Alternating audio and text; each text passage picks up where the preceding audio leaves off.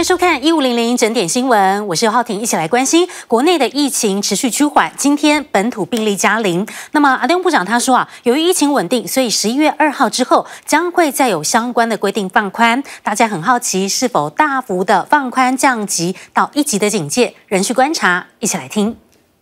今天没有买本土的病例哈，那有七例境外这一入，那也没有死亡的个案。现在每周日，啊，那个记者会哈，原则上停开，哈，记者原则上停开，好，所以在哈这个境外一入等等这些，我们都哈相关的这些案例数哈，我们当天就用新闻稿的方式来发布，好，所以在礼拜天除了有重大的新闻之外。好，我们礼拜天原则上哈就先停开。因为之前很关心说 A Z 会不会有那种气打潮的问题，所以有没有像是说我们 A Z 昨天约了多少，实际到多少的一些数字可以参考我们 A Z 的，就是整个状况。在昨天是打 A Z，并没有像大家在哈在想象可能之中的哈这样的一个所谓的打气低迷了哈。大致上，它跟以往是一样，它大概以昨天报出来的量，预约量七万一，实际接种量六万三千五百二十七，接种率大概百分之八十九点三。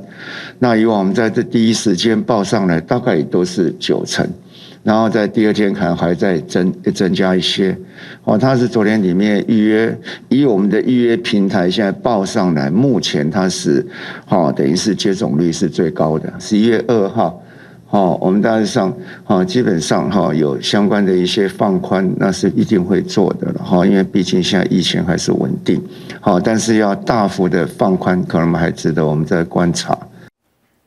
最近北台湾天气变化很快，所以有些人开始有点哈球、咳嗽、感冒了。那阿用部长也认为说啊，这件事大意不得，因为天气变化快，很可能造成疫情传播更快。特别是今年七月份，英国发现了 Delta 变异株的 AY 点四点二，它的病毒传播力是比 Delta 病毒高出百分之十五。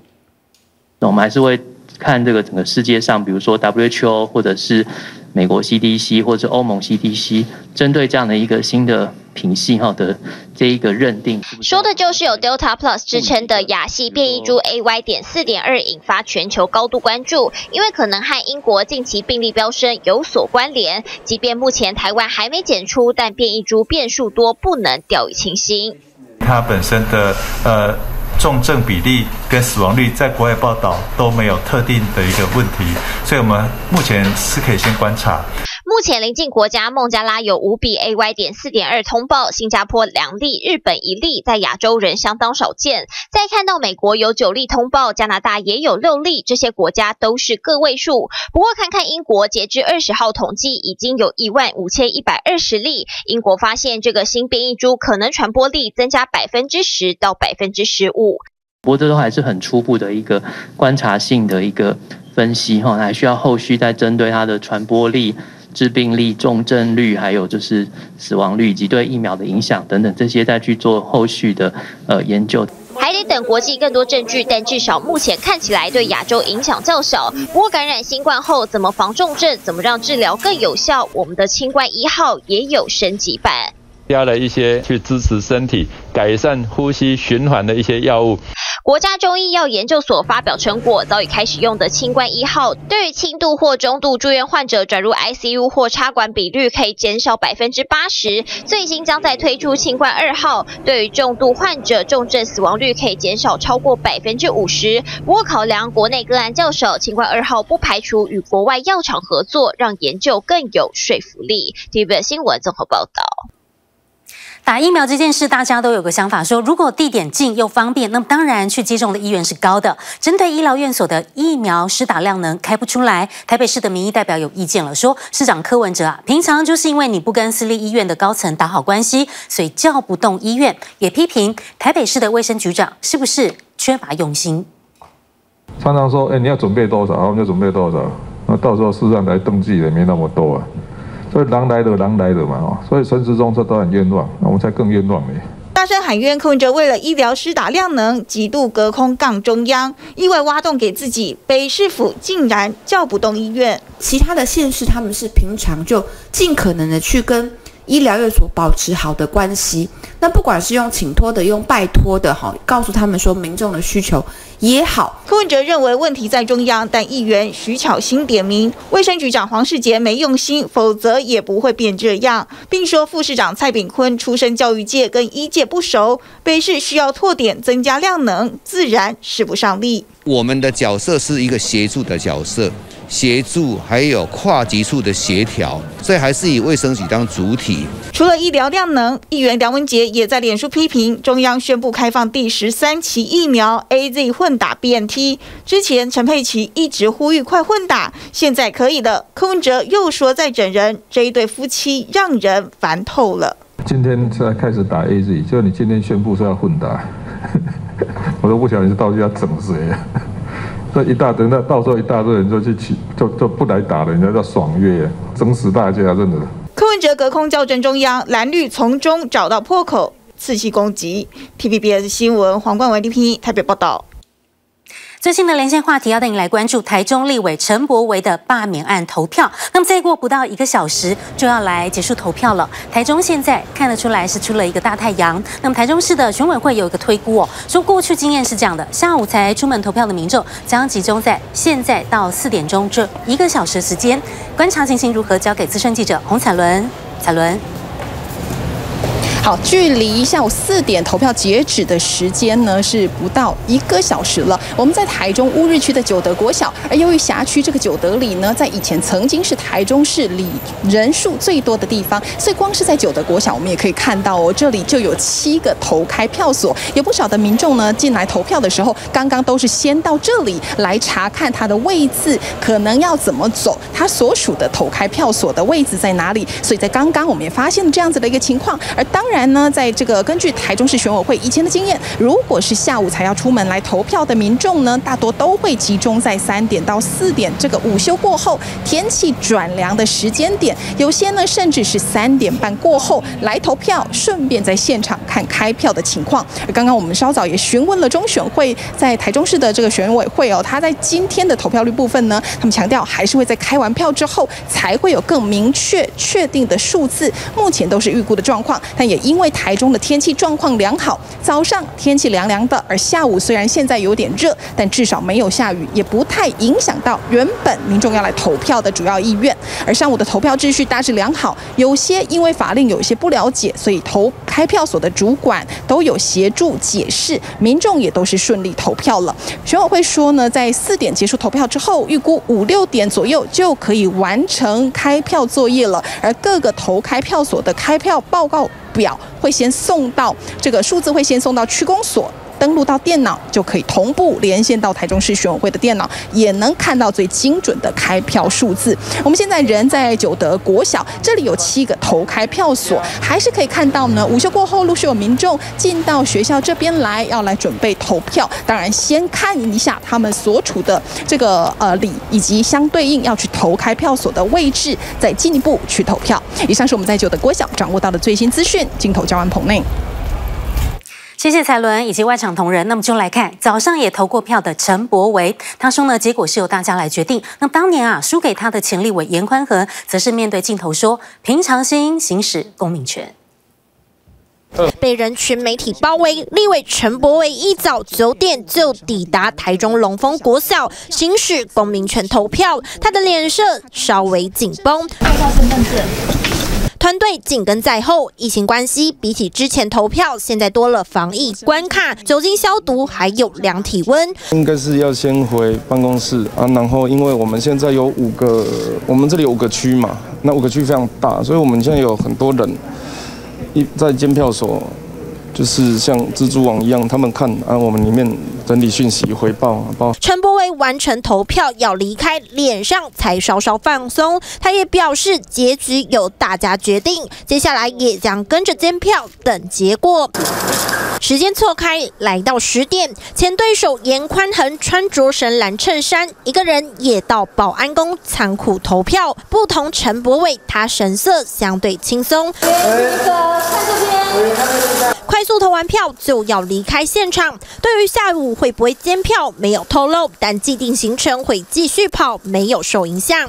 对吧？就我们当然是平常心的，就是说该做的事情还是要做。市选委会说，投票将在四点结束，监票唱票持续到晚间六点，出估就会有结果。投票民众越来越多，台中阴天没有太阳。陈柏威跟罢免两派阵营各自投完票，就等晚间结果见分晓。TVBS 新闻黄国军、陈宏毅、洪彩伦、许攸祥，SNG 小组台中采访报道。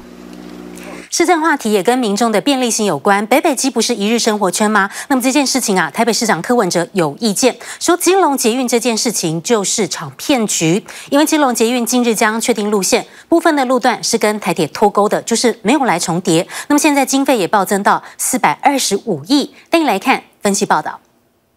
基隆捷运六年无变，二零一七年蔡英文总统称斥资八十亿元将基隆轻轨纳入前瞻计划，而去年又拍板升级为中运量捷运，预计花三百亿元，这一年间没有动静，却在二十一号有重大转变。原先规划基隆到南港一路通跟台铁共用，但最新路线几乎确定八堵到南港与台铁脱钩，也将结合新北的系东线。不过八堵到基隆这段则还没定案，最新方案预算暴增，预计花四百二十五亿元。有关捷运的路线规划以及施作，交通部会尊重专业，并和周边的城市。多多沟通。苏院长也知道要多沟通，因为确实引来批评。台北市长柯文哲才怒轰基隆捷运市场大骗局，隔一天脸书拿蔡总统图片继续呛，这也让基隆大家长开酸。我想柯市长哦，不要见不得戏子跟基隆好哦。那柯市长自己不要忘记了，在呃之前，他最早曾经讲过，他要把这个台北的板南线哦直接拉到基隆，所以基隆的捷运怎么会是一个骗局呢？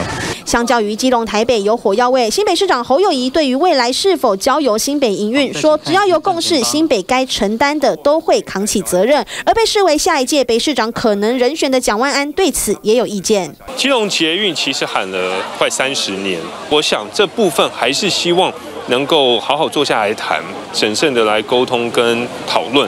基隆捷运涉及北北基三市，交通部拍板了，但三位首长各有立场。TVB 新闻华少平李婷台北采访报道。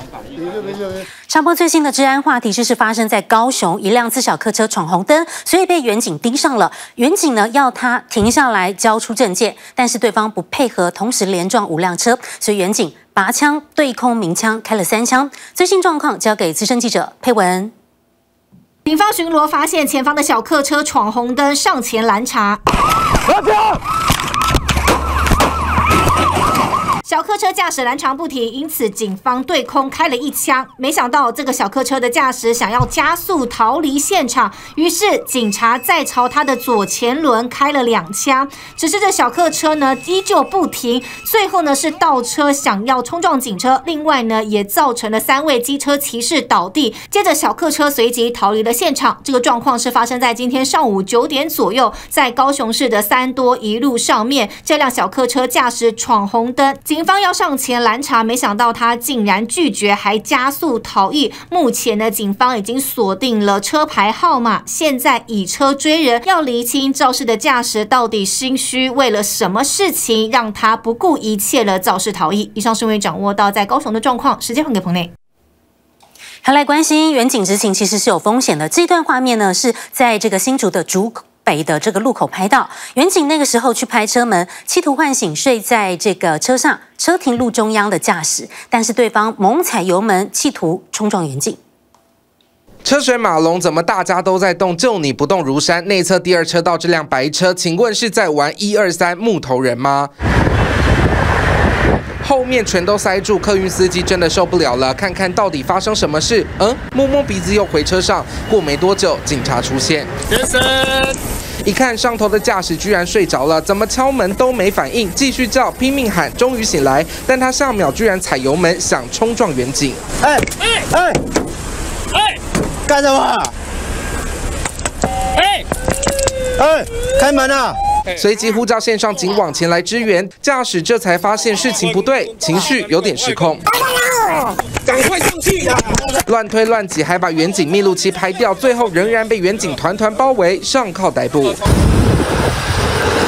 事情就发生在十四号下午四点多，新竹竹北光明六路东二段快车道上，警方获报到现场，发现男子在驾驶座呼呼大睡，被叫醒后情绪激动，大声咆哮，还用恶意言辞羞辱执勤员警，没戴口罩。卷起袖子，远景手臂一大块 O C，就是在压制过程中被男子弄伤的。全案的部分将依妨碍公务罪，哦，移请新竹地检署侦办。交通违规部分，则依规定告发；未依规定佩戴口罩部分，则依违反传染病防治法，函请卫生局裁处。男子被带回警局，爱车也只能请拖吊车来协助。警方调查他没喝酒，但大白天为什么会睡到不省人事，影响到大批用路人，还导致远景受伤，行为实在太脱序。TVB 新闻陈世明、徐云婷新竹报道。惊险火警发生在彰化和美的车库火警，画面中你看到这辆的修旅车，不明原因自燃，当时主人不在家。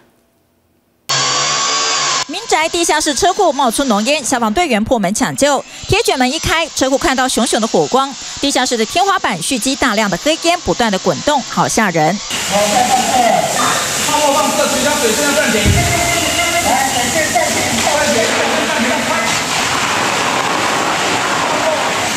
里一辆火烧车，消防队员拉水线灭火灌救。这是彰化和美的一处社区。二十三号凌晨一点多，偷天做地下室车库火烧车，镜子中的车辆十年车龄的修理车半夜烧了起来。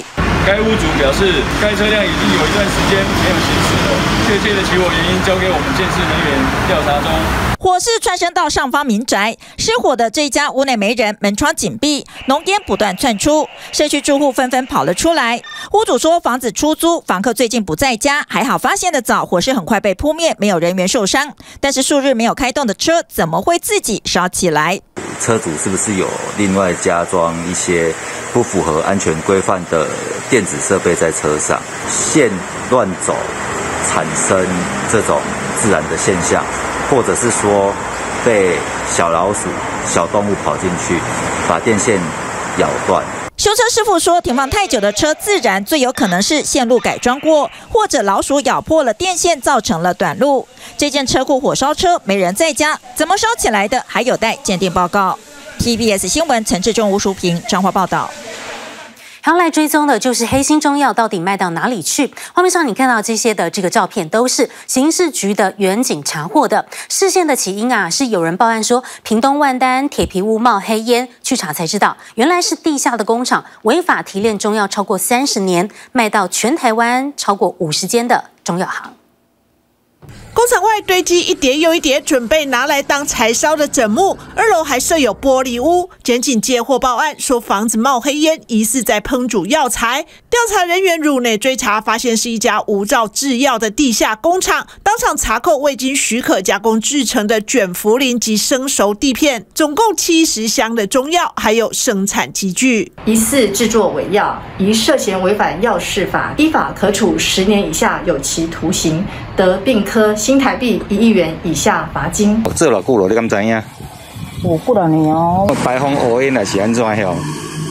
那是有在遐物件哪会啦？哦，安尼啊。那无得无啦。附近居民经常闻到熬煮中药材的味道，业者却拿出贩卖许可证喊冤，表示登记为仓库的铁皮屋绝无违法制造，而是在杀菌。啊，我迄个做成口啊，做成口啦。啊，制作咧，啊，都无咧制作。你用炉啊，伫遐行，伫遐煮，迄是用什么？无无，阮无咧，迄种诶，就是讲有时阵，伊即咧咧炉啊咧咧行吼，那像讲爱甲杀菌甲吹者。调查人员表示，负责经营的蔡氏兄弟从大陆买进中药材之后，直接在铁皮屋内加工包装，透过设在高雄的生技公司出货。由于设备简陋、卫生环境不佳，让人忧心。初步清查，他们铺货的据点遍及全国，大约有五十家的中药行，经营超过三十年，不法利益恐怕在千万元以上。但业者否认，短线有房东有机会给咱买啦。来源不明的中药，恐怕有重金属残留，吃多了对身体有害。调查人员质疑业者大赚黑心钱，正进一步追查伪药的流向及家族金流情形。TVBS 新闻叶凤达屏东报道。还记得反射音现象吗？在二零一六年那一年出现了霸王级寒流，台北市的阳明山也下了雪。那么很多人说啊，最近这几天北台湾湿凉有感，低温都到二十多度而已呢。那么其实今年也有反射音现象，专家的论述观点带你来看。马路啊，地板的部分都是非常的干燥，我已经不记得上一次就是见到雨后的马路的那种感觉了。走在美国加州洛杉矶路上，抬起头，万里无云，大太阳照顶，一丝水汽都感受不到。这样的天气可是已经持续好长段时间。今年就是印象中有下雨的日子，大概就是两天吧，跟前几年比起来。的确是没有什么在下雨，然后呃气温的部分一样都是很热。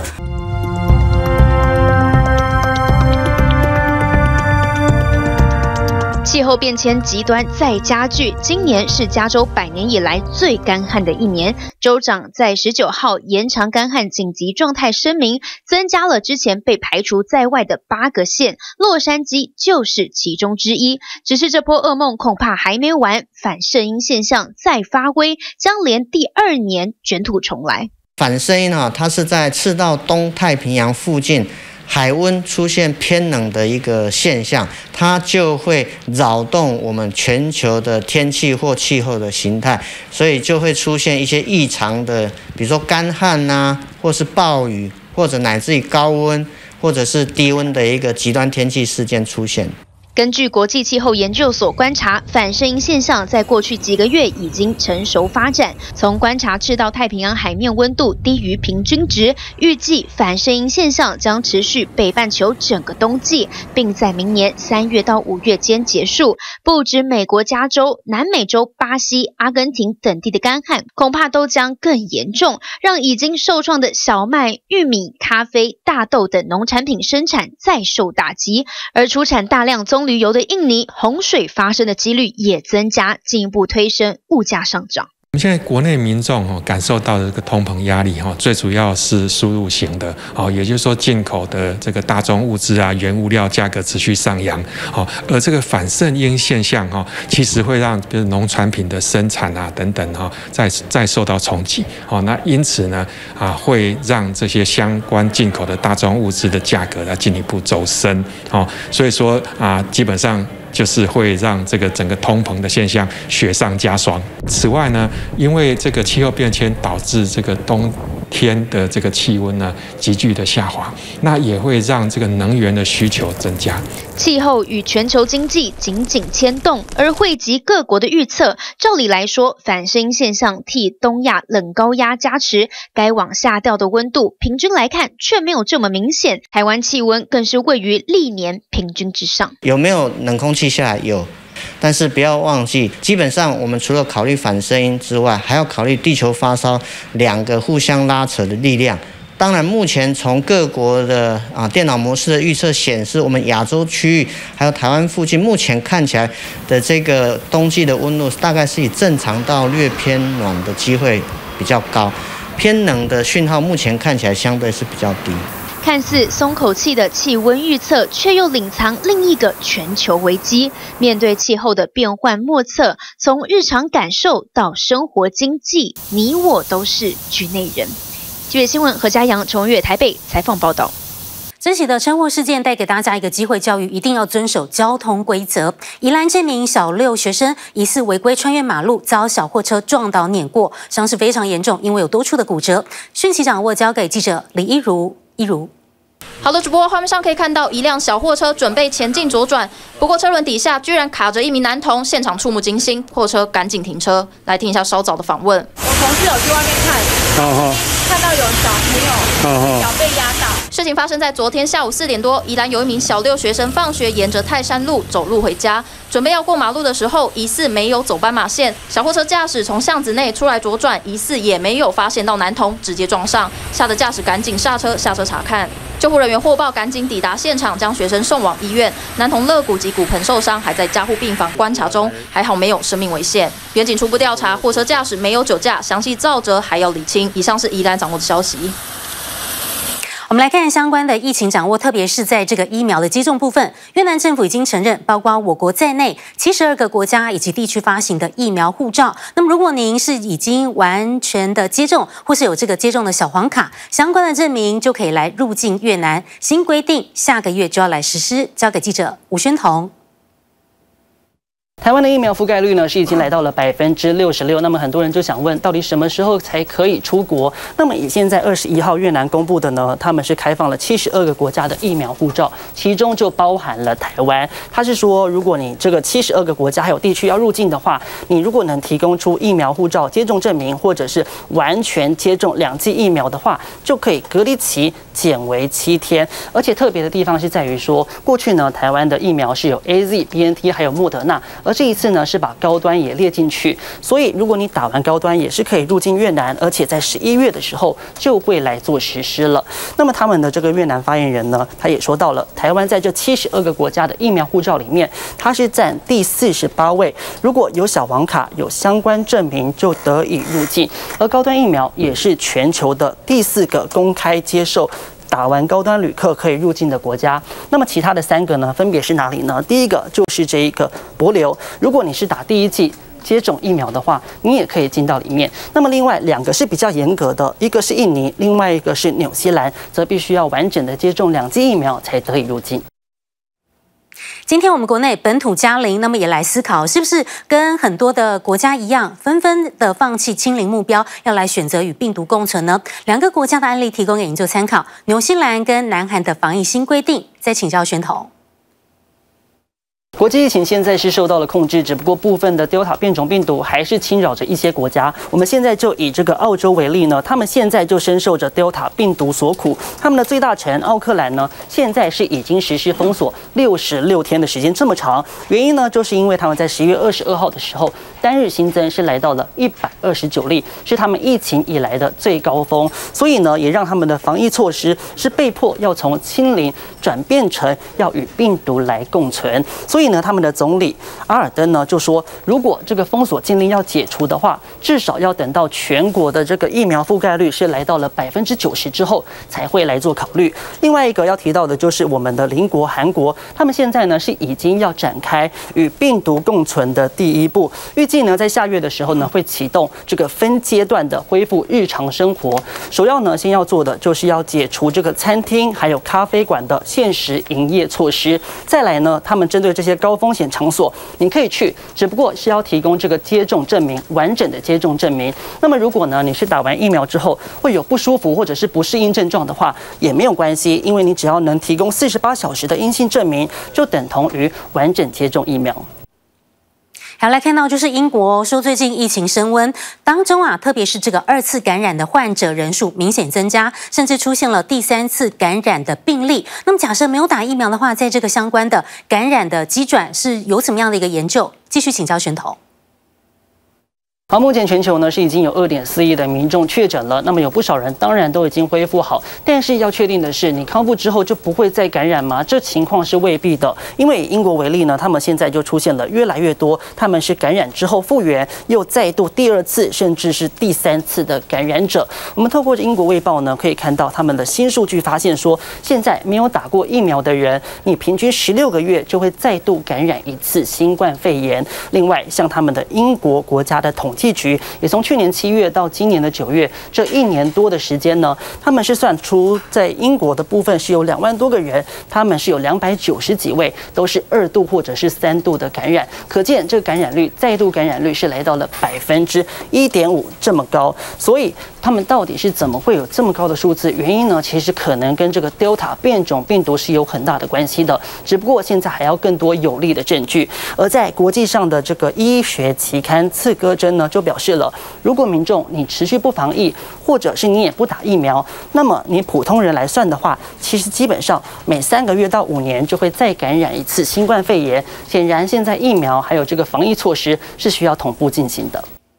我们来认识公办公营的实验学校，阳明山的胡天国小提倡农耕，教孩子们学习选择、练习照顾自己。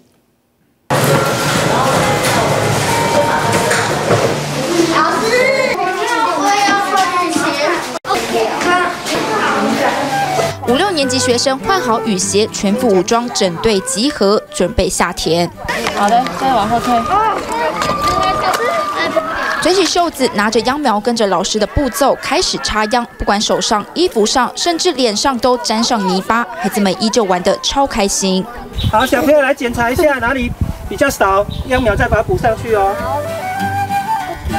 一年一度的插秧课程呢，是让小朋友可以体验当农夫的乐趣。这是湖田实验国小的实验课程，而实验教学的主要精神呢，多数就是以探究实作为主，让小朋友用更活泼的方式来学习。这边很多。从培育一株小苗到插秧，最后收成，一整学期要教会学生们感受一粒米的价值。这是实作课程，也是实验精神。而到底什么是实验教育呢？跟一般教学差别又在哪儿？这个阳明山这个大自然就是他们的教室嘛，所以我们阅读，我们也会带到外面那樱花树下去去读书。如果说你的课程内容没有改变，那你照原来的教，也一定没办法吸引小朋友。所以我觉得实验教育其实就是。嗯，老师也要翻转，那学校也要翻转。其实就是把很多教育理念呢，透过这样一个法令的结构，让我们实验看看，实验什么呢？实验实做的学习是否比听讲的学习来的有效。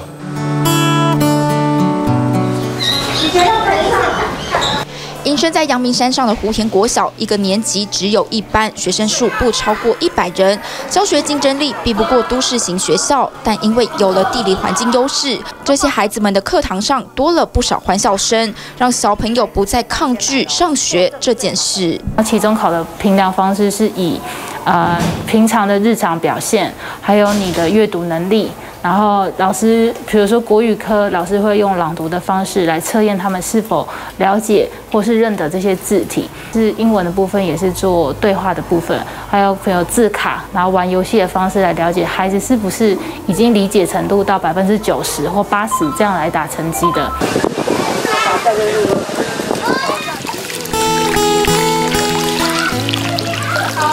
要把它塑形回去，所以你只有六秒的时间，一直把它往里面塞。带着麦克风，从饼皮的制作，再到放调味料、煮菜，一一讲解。校长亲自教学，化身为家政老师。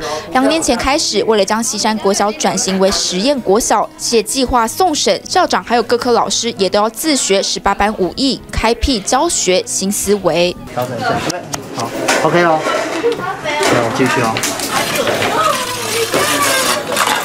发挥创意巧思，制作棉花糖披萨，外层烤到焦糖色，成了最夯的口味，妙倍分食。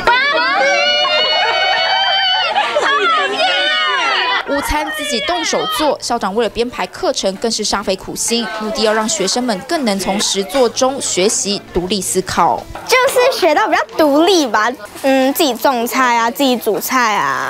之类，就有很多在其他小学没有办法做到的事情。我学校会发展特色的教教学，然后还有，嗯，我觉得重视孩子的生活吧，就是生活中的学习很重要。好了，来过来哦。一下，除了有什么？来，陈玉兴教学生分辨出溪流中的各式鱼种，不再只是纸上谈兵。实验学校顾名思义，就是在教学设计上实验出一套新的互动模式，制度也与一般学校不太相同。每个学校也有各自不同的实验教育方式。我们在课程上做了一个很大的翻转，我们国音数基础学科没有做实验，那除了国音数之外，其他都是。因着学校的在地的一个特色，或者是学校一个发展的脉络，那在十二年国教里面，他呃最期待要改革的部分就是学生的学习。那是跟他的真实生活情境是结合的，那这样的学习对孩子会比较有意义。实验教学呢，从小学衔接到国中，像是新北市这间平林国中已经试办实验教育两年，在新的学年度教正式转型为实验国中，而课程内容也主要要与在地文化做出发，像是今天这一堂课呢，与地方创生团队合作，要带小朋友到茶博馆做设计学习。好，同学，我们等下要准备出发喽。然后呢，我们等一下要去茶叶博物馆，走吧，我们出发。走。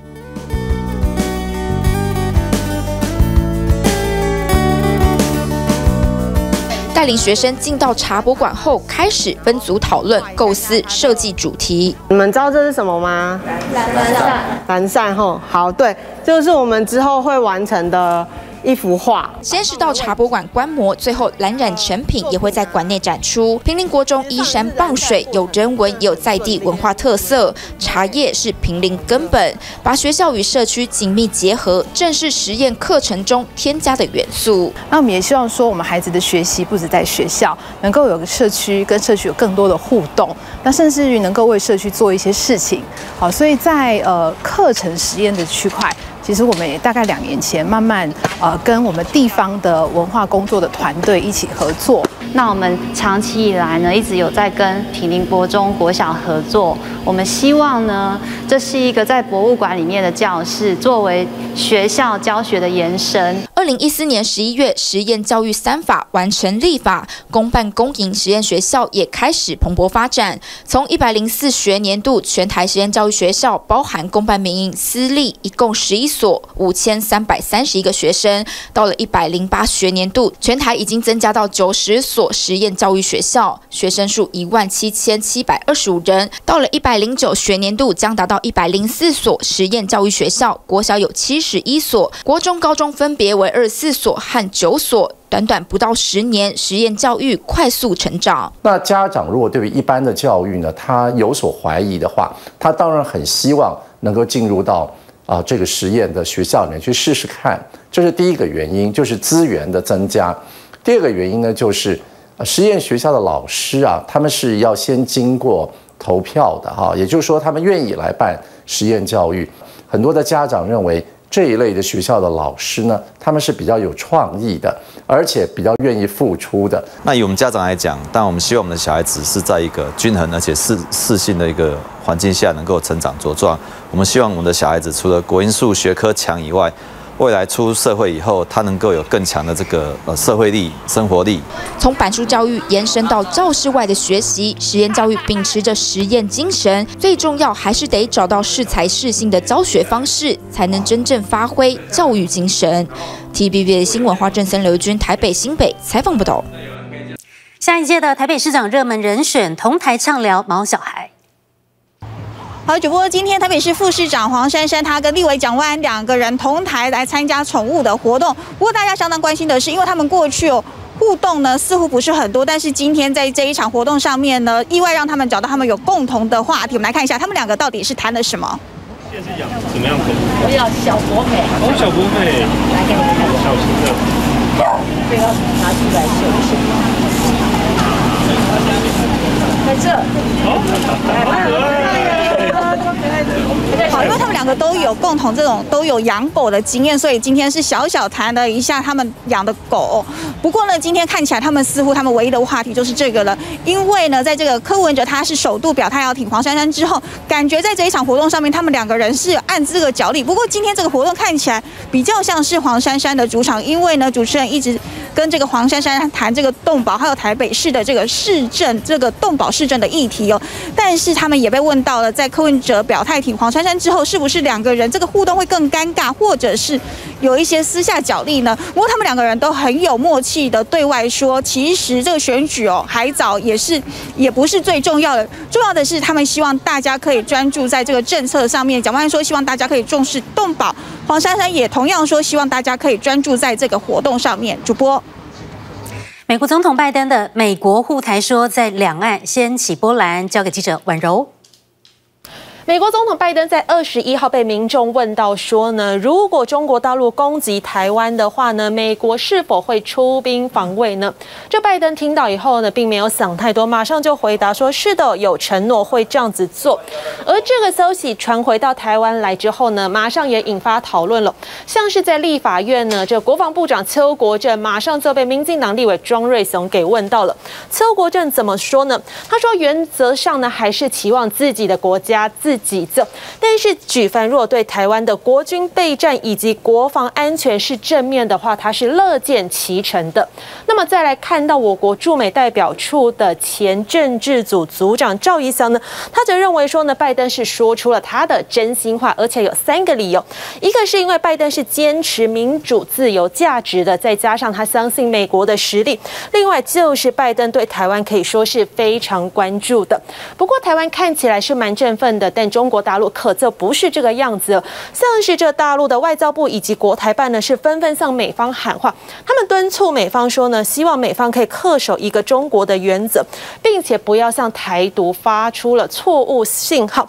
另外也是呼吁美方呢，不要站在十四亿人民的对立面。另外，江启臣对蔡政府提出最新质疑，婉柔。蔡政府常常被诟病说花了很多钱在大内宣上面。那么立委江启臣更进一步指出呢，现在的总预算上面呢，这媒体政策以及业务宣导费呢是有十八点六亿元，但其实才不止这些钱呢。实际上是有五百五十三亿元的行销费用藏在各单位的基金里面，俨然成为政府的金库。江启臣更进一步举例说，像是交通部观光局以及内政部呢，都有这样子的情形，所以。他认为呢，应该要逐项揭露这个钱呢到底用在哪里，而不是用行销费用四个字这个大帽子盖上去就想要掩盖过去。不过行政院长苏贞昌是回应说，听起来这个钱好像很多很好用，但才不是委员想的这个样子，不是那么简单的。因为呢，这预算经费的动之使用呢，都是还是要通过立法院的监督以及审计部的决算。那主计长朱泽明呢，其实昨天也在场的。朱泽明则回应说呢，像这行销费用为什么不能跟媒体政策及宣导费用放在一起呢？他说呢是法规不允许的。另外，关于媒体政策宣导费用呢，到底要不要标清楚广告还是新闻呢？朱泽明也进一步说呢，其实，在预算法修正之后呢，今年六月就已经告知不行。我们国内新生宝宝一出生就负债，继续交给婉柔。尽管蔡政府一直强调说呢，他们不止举债也还债，但实际上呢，每个人背负的债务还是相当高的。这审计长陈瑞敏呢，在立法院就指出呢，如果以中央政府一年以上的未偿债务余额呢，统计至去年年底呢，有五兆五千三百七十四亿元呢，但截至今年九月底，这金额又更高了，已经来到了五兆六千八百九十八亿元。他跟预估。估说呢，到今年的年底呢，也就是一百一十年底呢，政府的未偿债务呢将突破六兆元哦，这数字真的是相当的可观。而且根据财政部的国债中显示呢，现在国家的负债呢已经达到了五兆八千四百四十八亿元，换算下来，每一个新生儿呢一出生他就得背负二十五万元的债务。